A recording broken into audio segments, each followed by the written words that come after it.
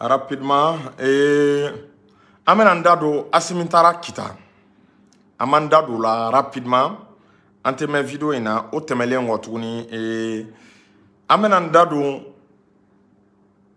faransi kojugu kɛ jamana in na bila ko tɛ faransi ye mali deturu ye kuwa an bɛna an da don o fana la est-ce y'a faamu il faut que colonisation ka dabila il faut que colonisation ka dabila an bɛna an da don o fana la donc nin thème ninnu de bɛna développer aw balimakɛ ni aw denkɛ fɛ n'o ye amara sila euh, jury chercheur ye Cheikh Tiami Aydara an ka foli belebele bɛ sirifukɛ ye a bɛ kɛri caman bila ka voilà a bɛ kɛri caman bila ni ka partager pour que u kana an ka video signaler ee an ka foli bɛ sirifukɛ ye ala y'a garijɛgɛ kabako fura la n'a bɛ bana baden furakɛ a ka ɲi a ma fɛnɛ sɛki tiya min ka nimoro ye 78 78 03 03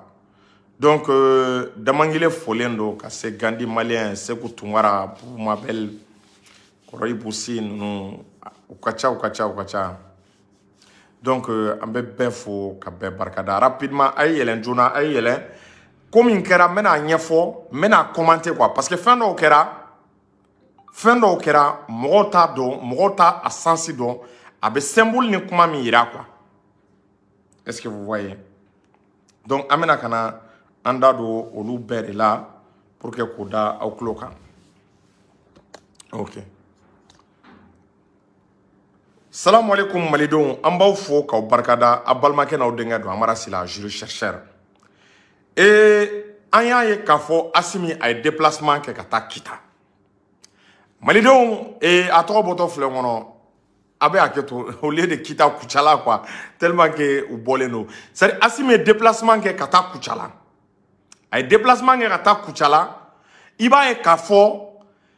c'est un grand symbole ko min kɛra a ka nin déplacement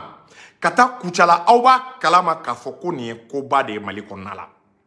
an bɛ période min kɔnɔ a ye nin déplacement min kɛ kɔrɔba de b'a la c'est symbolique c'est significatif asimi ye koba de kɛ a ye discours ba de kɛ a ye kuma fɔ kuma minnu ka kan ka mɔgɔ hakili sigi kuma minnu ka kan ka mɔgɔ jigi sigi a ka tagali yɛrɛ kɛra contexte jumɛn na a y'a jateminɛ ye au moment où a ko ko faransi k'a ka minɛn cɛ ko faransi k'a ka minɛn cɛ u ka taa rfi tora u bɛ manamanakan fɔ la u bɛ ka nkalon da an na u bɛ k'an tɔgɔ tiɲɛ a ye rfi ferme ka france 24 ferme ka bɔ an fɛ yan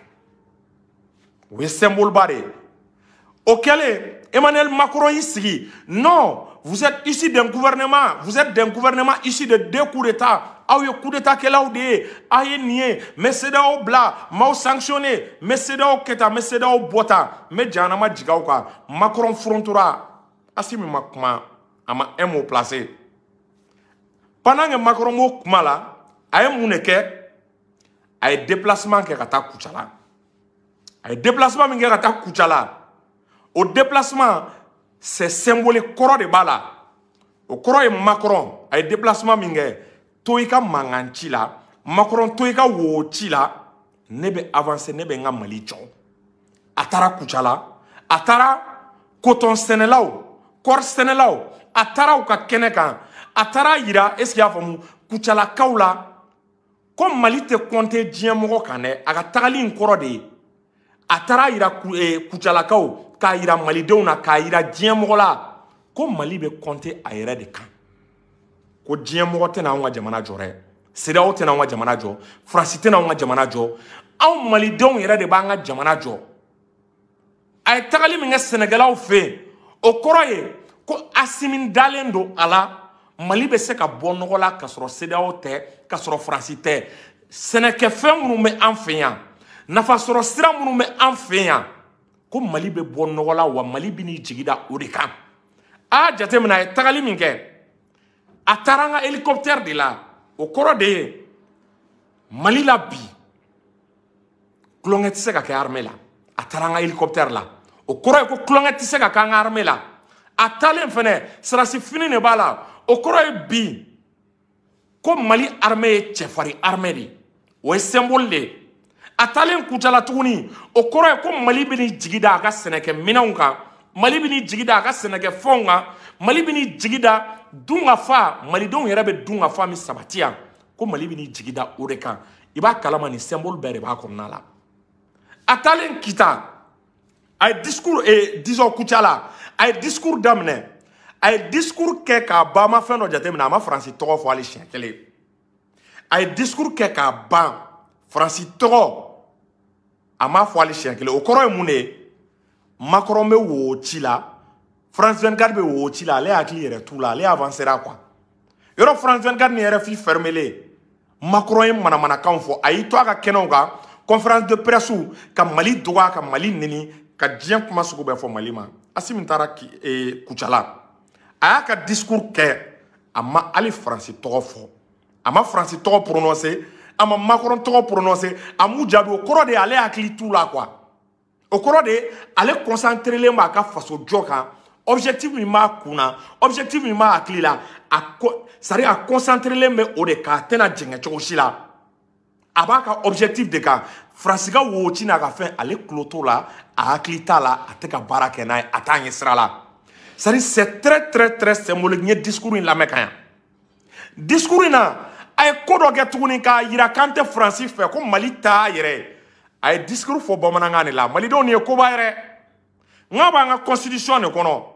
k'an ka langue officielle k'o ye français ye o kɔrɔ ye mun de ye ko n'an bɛ kɛnɛbaw kan jamana yɔrɔbaw la ko ni président bɛ kuma a ka kuma a ka kuma tubabuw ka kan na o b'an ka constitution de kɔnɔ asimi y'a yira esigi y'a faamu an ti baara kɛ ni faransi ye bi an bɔra colonisation kɔnɔ jama la asimi ye mun de kɛ a ye bamanankan de ta a ma tubabukan fɔ dɛ bamanankan e ni ne an bɛɛ bɛ bamanankan min mɛn asimi y'o bamanankan de ta a bɛ ka o fɔ o bamanankan na a ye mun de fɔ tuguni o bamanankan na i b'a ye a kuma fanba la a y'a yira k'a fɔ a ka bamanankan kɔnɔ ko mali bɛ ka kobaw de kɛ ko mali bɛ ka kobaw de kɛ o kɔrɔ ye aw min bɛ ka ne layɛ ani maliden tɔw ani asimi jan bɛɛ miiri ye de ka jamanaba de jɔ ka mali kɛ fɛnba de ye ka mali bila esigi y'a faamu farafinna bɛɛ sanfɛ i m'a ye k'an bɛ ka kobaw de kɛ k'an bɛ ka kobaw de kɛ ko wa ko kobaw bɛ n'ale mali la mali bɛ ka kobaw kɛ wa kobaw de bɛ n'ale mali la parce que k'an kɛra afiriki yan an kɛra fɔlɔfɔlɔ ye kɔɔri sɛnɛ la kɔɔri sɛnɛ la mali kɛra fɔlɔfɔlɔfɔlɔ de ye afiriki yan mali kɛra fɔlɔfɔlɔ ye afiriki yan donc a taara ka kotɔn sɛnɛlaw ka taa u remercier k'u ye nin baara min kɛ ko maliden kelen kelen bɛɛ ka exemple ta désormais mali la a bɛna kɛ tan de k'an bɛna kobaw de kɛ kobaw donc o b'a yira mali kura bɛna le espoir bɛ yen o b'a yira jigisigi kuma bɛna le o b'a yira k'a fɔ mali bɛna diya o b'a yira k'a fɔ dun ka fa a bɛna sabati mali kɔnɔ a ye tagali min kɛ nin kɔntɛkisi kɔnɔ nin kɔrɔ ye sedeyawo a y'a ka baara kɛ ne mago tɛ aw la faransi y'a ka baara kɛ ne jigi bɛ n ka sɛnɛ kan ne jigi bɛ nafolo minnu bɛ mali la ne jigi bɛ olu kan ne jigi bɛ n ka arme kan a y'o kuma fana fɔ ko bɛɛ k'a layɛ ka koba kɛ i kɛra arme ye i kɛra sɛnɛkɛla o i kɛra dɔnkilidala ye o bagan marala o i kɛra dɔktɛri ye o n'o ye sante domɛni o ko bɛɛ de k'a lajɛ i ka baara kɛ i ka domɛni na a ye kuma dɔ fɔ ko mɔnɛ tɛna don mali la ko n'i y'a ye mali kun binna paseke dɔw m'u dɔ u jɔyɔrɔ la ko n'i y'a ye mali kun binna dɔw kun ka kan ka min kɛ u m'o kɛ k'an ka lajɛ an ka jɛ k'an tɛgɛ di ɲɔgɔn ma ko mɔnɛ kana don mali la an mago bɛ kuma min na nin ye cɛfarinkan de ye an mago bɛ nin cɛfarinkan de la ko mɔnɛ tɛna don mali la tuguni est ce que a bɛ k'a faamu ko mɔnɛ tɛna don mali la n'a ko ko mɔnɛ tɛ don mali la malidenw a y'a bila u kunna fɛn baden b'o la surtout ni y'an ka kirisi ta k'a lajɛ yɔrɔ arme kunda sarasi kunda mɔnɛ kun donna na mali kun humiliera mali kun mali kun kɛra yeko fila ye ka sababu kɛ an ka arme kun ye defɛtiw ta ta fanga tɛmɛlenw na a ko ko de banna bi ko mɔnɛ de tɛna don an na tuguni a dabila la wa i tɛna jɔnmaya kan na k'i da sago fɔ mali ma ko dabila la k'i to faransi ka mali dɔgɔya ka mali lajaba a ko ko dabila la a tɛ jɛn n'a ye asimi ko k'a tɛ jɛ n'a ye cɛ si fɛ asimi ye kuma min fɔ le fait k'a ko k'a bɛ mɔnɛ bɔ an na malidenw a nɔ nin ye jigisigi kuma ye dɛ nin kɔrɔ ye ko dimi o dimi n'a kun donna an na faransi kun ye dimi o dimi don an na a dimi a bɛɛ de bɛna bɔ nin b'a yira k'a fɔ asimi ye ko faamu a ka kuma kɔnɔna la a y'a yira k'a fɔ ale bɛ yan ka jamanadenw de sago kɛ a bɛ ka aw de ka baara kɛ a bɛ ka aw de sago kɛ o de la sogɛli bɛ to k'a kuma fɔ ko conseil des ministres la n'i y'a ta k'a lajɛ ko asimi bɛ to k'a fɔ tuma bɛɛ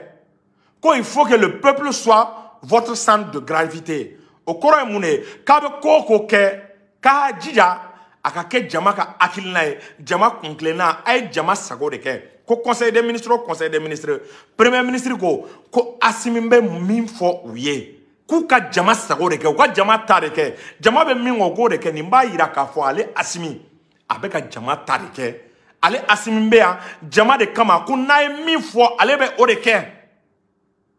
yɔrɔ a y'a ye asimi kun ka déplacement man ca mɔgɔw ye kuma caman fɔ mɛ n'i y'a ye a nana bɔ ka na nin kɛnɛ kan nin kɔrɔ ye hakilina ni miirina minnu bɔ a la asimi est prêt à aller jusqu'au bout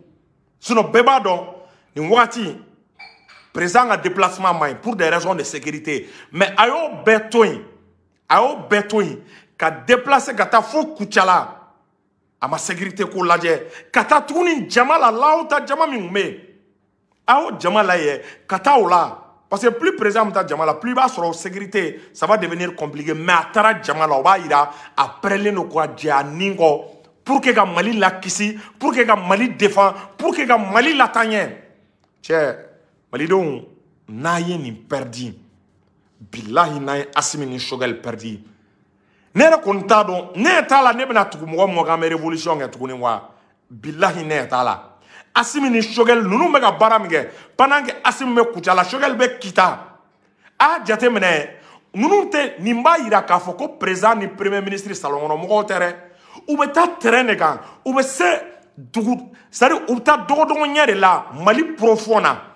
village la ka taa malidenw layɛ ka t'u ka degun n'u ka gɛlɛya layɛ o t'u k'u da koloba dɛ i n'a fɔ i bɛ ka kun bɛ k'a kɛ cogo min na u bɛ taa ka taa malidenw sɔrɔ u sigiyɔrɔ la ka taa malidenw sɔrɔ u ka baarakɛyɔrɔ la pour que u ka gɛlɛya n'u ka degun ka taa lajɛ u bɛ se ka solution ni fura min sɔrɔ ka o solution n'o fura kɛ a y'a jateminɛ asimi ka discours bɛɛ a ma tɛmɛ 9 minutes kan ko cɛya kuma man ca a ka discours bɛɛ a ma tɛmɛ 9 minutes kan ko cɛ cɛbakɔrɔ ka kuma man ca n'i ye mɔgɔ mɔgɔ ye kuma la a ka kuma tɛ bɔ a baarakɛla tɛ a si ma a ka kuma man caya o a taara huit à neuf minutes huit à neuf minutes a ye essentiel fɔ wa a ka kuma la a bɛɛ ye peuple de ye peuple jamanadenw jamanadenw jamanadenw jamanadenw a bɛɛ ye o de ye est ce que vous voyez donc nin ye hakilisigi ye nin ye jigisigi ye mali dɔw bɛ ka fɛn o fɛn miiri a bɛɛ bɛna le asimi talen nin na kotɔn kɛnɛ kan a y'a bila u kunna k'a tɛna mɛn a bɛna usine de transformation ka kotɔn bayɛlɛma k'a kɛ fini ye an fɛ yan nin b'a yira k'a fɔ ko asimi bɛna o baara kɛ nin b'a yira k'a fɔ aw jigi da o kan nin b'a yira k'a fɔ k'an ka sɛnɛ k'a bɛna ta ba la nin b'a yira k'a fɔ k'a bɛna le usiniw dayɛlɛ mali kɔnɔ parce que a ko ko ka koba ko ka koba de kɛ o b'a yira asimi ka ambition ka ɲi ni mɔgɔ min bɛ miiri ni ambition na ko ka koba kɛ mali ye walahi o b'a yira k'a fɔ a ka faso kanu ka bon o b'a yira k'a fɔ ko nin tigi bɛ fɛ ka usine ba la na nin b'a yira k'a fɔ k'a bɛ fɛ k'i sen da moribo keyita sen da nɔ de la c'est très important nin b'a yira asimi bɛ fɛ k'i sen da moribo sen da yɔrɔ de la nin kɔrɔ tɛ ko asimi nana eh, guerre dɔrɔn kɛli kama nin kɔrɔ ye k'a nana a bɛ fɛ économie sɔrɔ